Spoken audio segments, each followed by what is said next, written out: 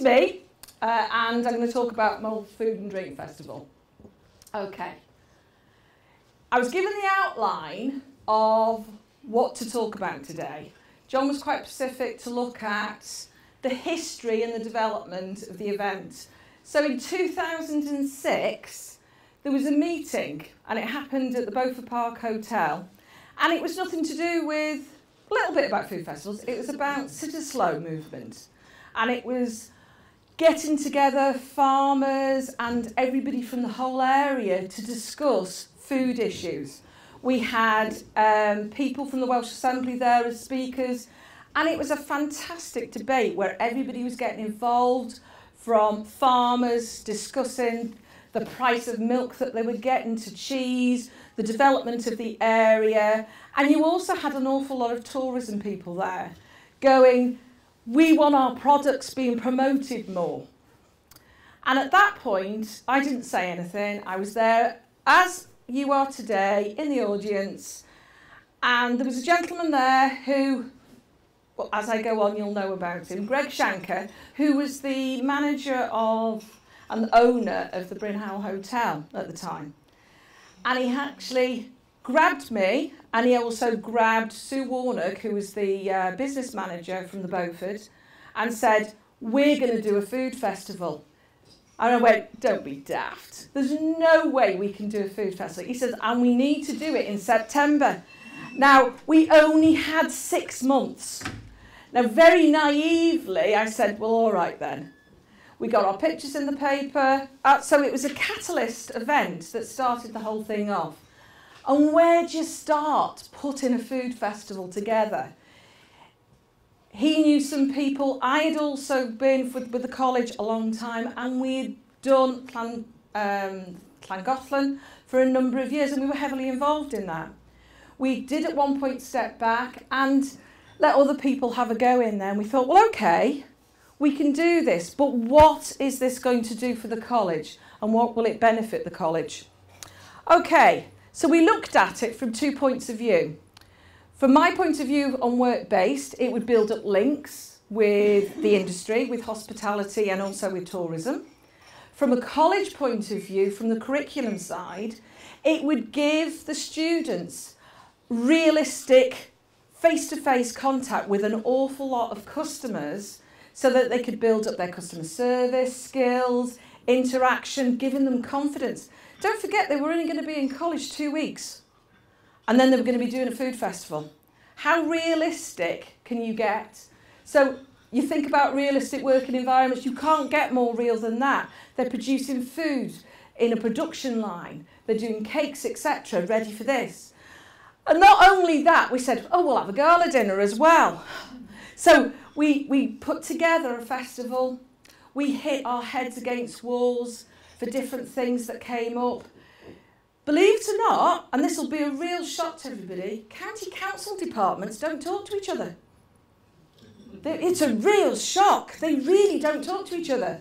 So when you have to get permission to actually have a license to actually use a concrete area, you have to go to one department.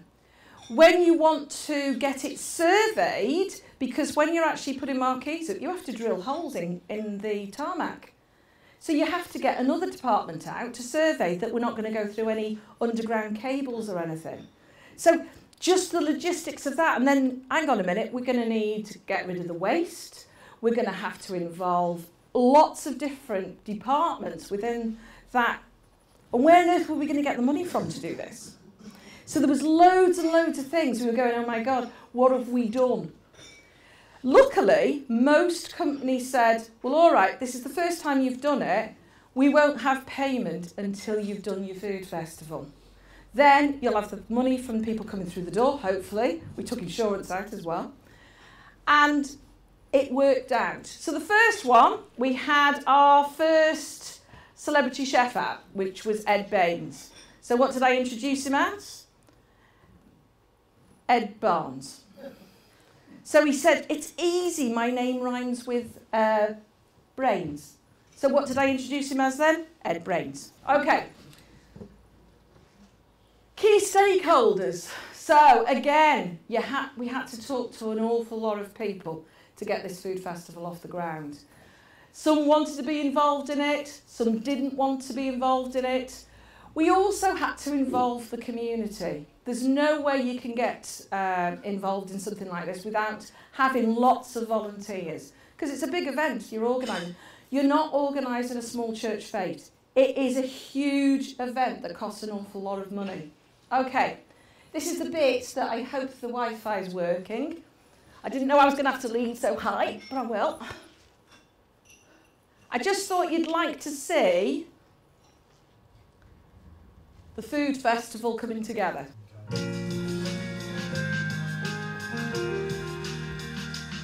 So this is one we did in 2011. Just looking at the site before everybody arrived. This was on the Friday before the festival was on on the weekend. And this is the logistics. See the cars? We blocked off the car park and said, don't park here. So what did people do? They left their cars there. So this is on the Wednesday afternoon. We were having to wait for people to move their cars so that they could put the rest of the marquees up. That's the music stage going up. It's the car park in Mold. It's the used to be the Gateway car park. It's now the Co-op car park there. We went for lots of cabins. We call them cabins or they're sheds. Uh, it was good. We've got an outdoor area, we've got an indoor area. It developed quickly into a much bigger festival. The first year, the amount of people that we had through the door was three and a half thousand people. By 2011, we were having between 13,500 to 15,000 visitors to the site. So that's why it grew. We, we grew from one part of the car park to taking over bit, bit, bit, further and further along.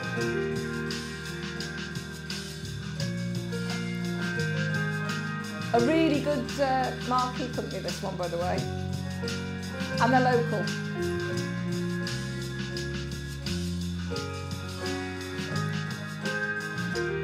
Pizza oven arriving there.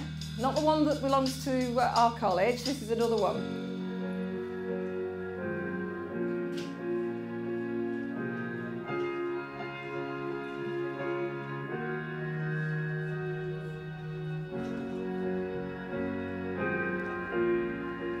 Lots of grants from uh, the Welsh Government and also from local bodies, you have to have a percentage of Welsh exhibitors. And they determine that, and that's going to be over 75%. So yes, you've got an awful lot who come from England who want to actually be there, but you've got to give the local first priority on it.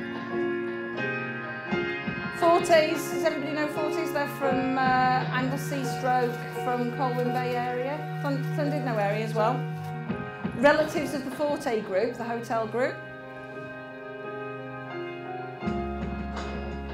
This is the college area, one of the college areas where refreshments are done, interactive area where people can have hands-on with their children having a go at different things. Demonstration area.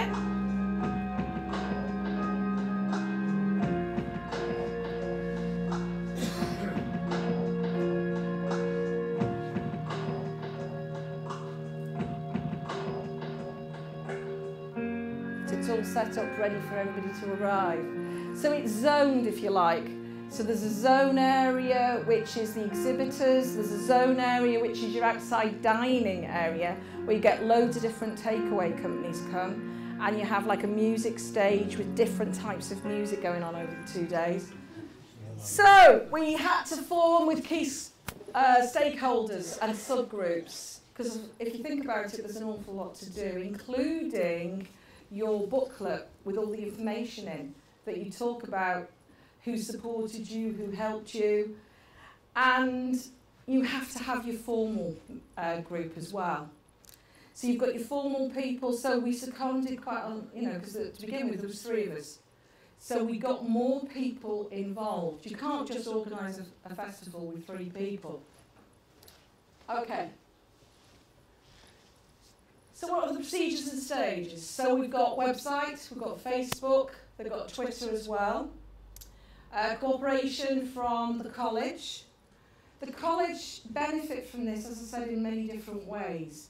Supporting uh, a food festival and, and the localism is something that um, David Jones was very much for.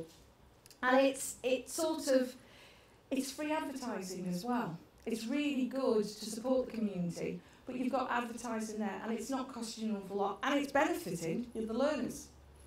Okay.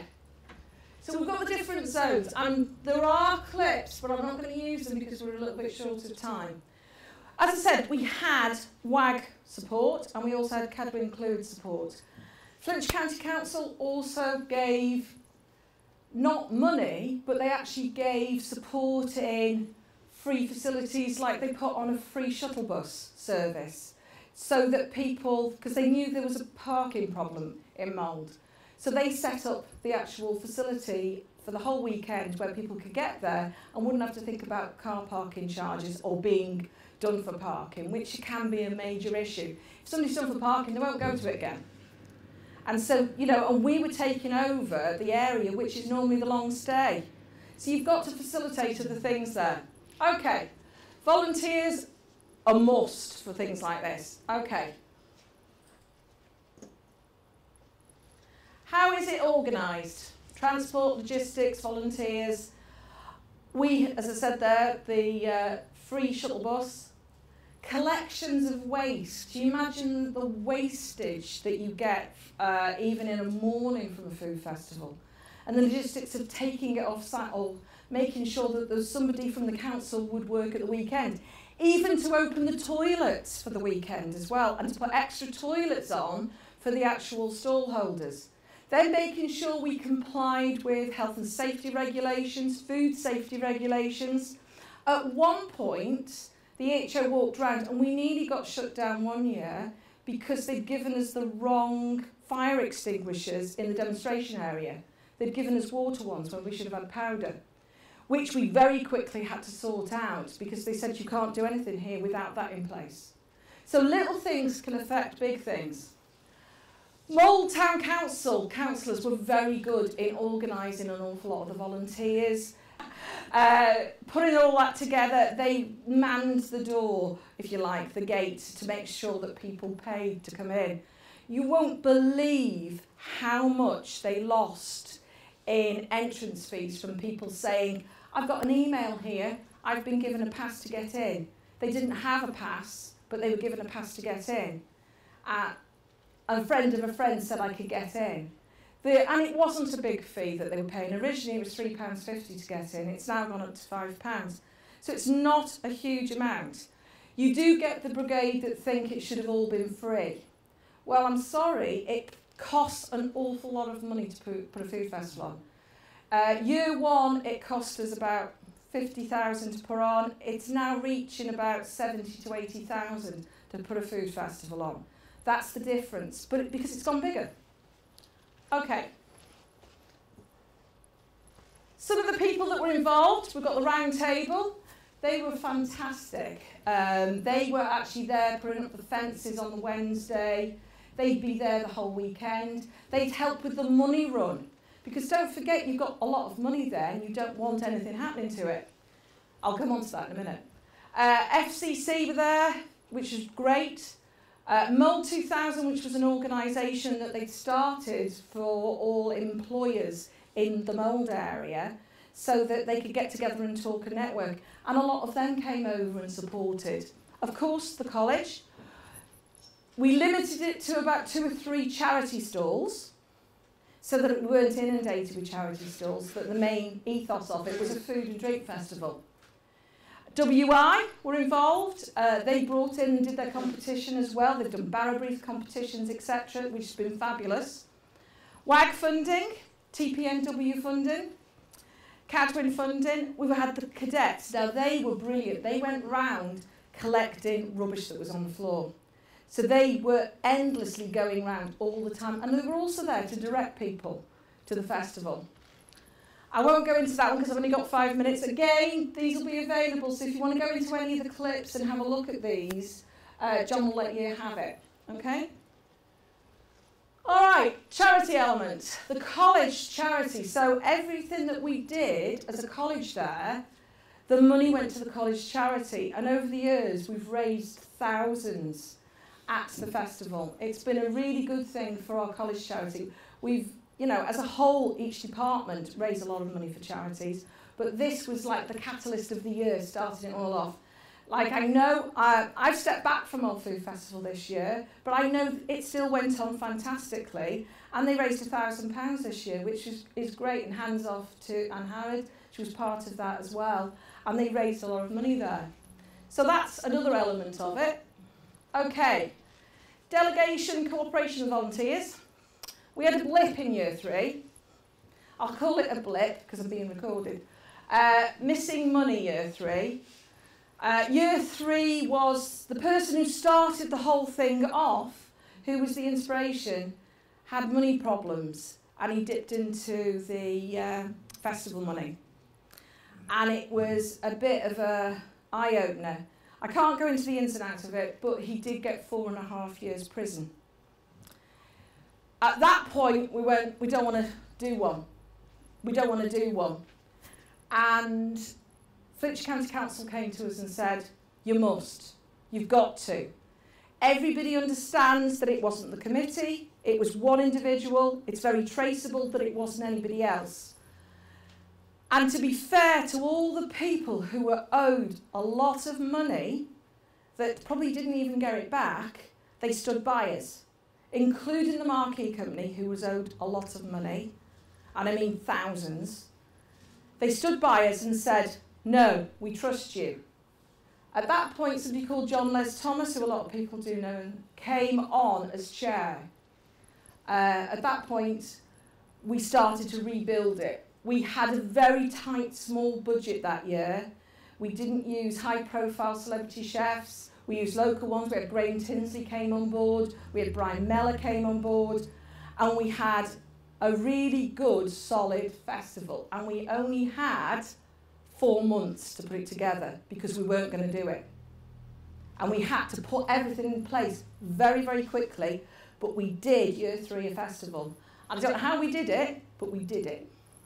Other things that have hit them is the recession. Yes, it has hit everybody because the money from uh, Welsh Government went smaller and smaller and smaller. The lack of funding and support has gone, like with TPNW, are no longer a body, so they can't have any money from that. So it's, it's those type of things that have gone down. Okay, plans for the future. Involving more mold employees. Uh, to be self-funding. Okay, that part they are on track to do by next year. 2015 will be year 10. So in 2015 they should be self-funding. They won't have to rely on any government funding whatsoever, that they'll have generated enough income there that if anything happened they could produce the whole thing themselves, which is brilliant state affairs to be in. They need to tweak the format each year to make it fresh, put new things in there, so people do want to come to it each year. Bring in new committee members. Yes, they do need to bring new blood in there. More foodie people need to be in there because a lot of it now is, I think there's one person on the committee now who has got food and hospitality background. So they do need to bring in more foodie people into that festival now.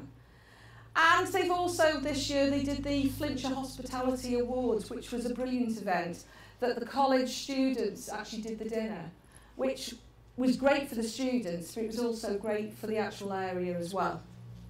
Okay. Well, that's it. Okay, find out more. So those are your websites you could go on to, moldfoodfestival.co.uk, Facebook, and also Twitter. And they are very active on that as well, and it is promoting the area. So if you want to get involved with your local festival, it's really good for you to do there are benefits. Okay. Go. um, my name's Donna. I am one half of the Wrexham Food Festival organisation. Carolyn said she can't do it with any less than three. We do it with two. We have much much smaller than Mold Food Festival. Um, we initially started, when I say we, I'm talking about Nightingale House and the Local Food First project in Wrexham. I'm the Local Food Project Officer in Wrexham and we're WAG funded through the Rural Development Programme. So I help Nightingale House with the costs involved with putting on the event. They take all the profit from the event to go towards their charity. Just the location of it. We started, there was a food festival in 2010 and it was in collaboration with a private company called Exuberance. They went out of business, so there was no food festival in 2011 and then we discussed with Nightingale House getting together and since then, for the last three years, we've been doing it together. Um, logistics wise, I don't know if you can see any of this. This is Llwyn Isaf, that was Llwyn Isaf, and by there, that was Nightingale House Hospice. They've got a lot of infrastructure themselves, they've got the vans, they've got the manpower, so it's not very far to take things back into. As I said, the history of the event, 2010 started it, 2011 No Food Festival, and then subsequently in these years, I'm scared of touching this, boom. Um, the stats for the last three years, year on year we've increased the stall holders. However, the local producers seem to have fluctuated year on year. 2,000 people attended and we made 4,400 profit for the festival. 2013, stall holders increased, local food producers decreased, footfall and profit increased substantially. In 2012, it was the first food festival, so we, it was a learning curve. Personally, I wasn't involved because I wasn't in post at that time. Um, but from that, there was a debrief, learned a few things, cutting costs was the main one, and that's why in 2013, Nightingale House had set up um, with Melody Corporation, and they do all our marquees, and he's a really good guy because he stays all weekend and he's just the odd job man basically. If you need him, he's there. Profits increased, footfall increased. However, the tent itself was too small and it was cramped, and that was the feedback that a lot of people, the public in general, was saying. So for 2014, we made the tent bigger, um, but then there was a heat wave, so people went off to the beach or went and watched some football match. Football. Again, stalls increased, food producers increased that year because 2013 they had a really good year take-ins wise, so it increased substantially. Uh, footfall was there or thereabout from the year before, and profit was there or thereabout from the year before. For year on year, we've introduced little bits extra, little bits extra from the year previously. 2013 we introduced the website. 2013 we introduced the music stage as well. 2014 all the social media behind it as well. Um, and 2014 we introduced Colin Cambria and the interactive tent and Carolyn took over hosting of the food demonstration kitchen as well which freed me and Laura up to do other things. How it comes together the organisation we do tend to try and get preparation started as early on in the year as we possibly can, but because we're both doing our own jobs, it's difficult sometimes to get it that far planned in advance. Nightingale House take um, ownership of the infrastructure, the marquees, the toilets, the bins, the fencing, all that kind of thing. And because through my project I'm not allowed to generate an income, she does all the ad ad administration, taking the booking fees and all that kind of thing from the stall holders. Um, they'll do the promotion of the website, the social media, all that kind of stuff as well, and then they organise the volunteers. With it being a hospice, they do have a bank of volunteers, and there is a volunteer coordinator on the day, and she will put the volunteers where they need to be, collecting money on the stalls, out in the town with buckets, all that kind of thing as well. There's, they've got a good set of blokes that'll go in at the weekend and they will do all the heavy lifting with the fencing, setting up with a marquee guy and everything. Me, I do the demonstration kitchen, I organise the Healthy Schools competition, I'm in contact with the producers in Wrexham, and this year I did the food festival programme as well. The people that benefit from it are obviously the producers, and that's getting their message out there that the local food and what they can produce.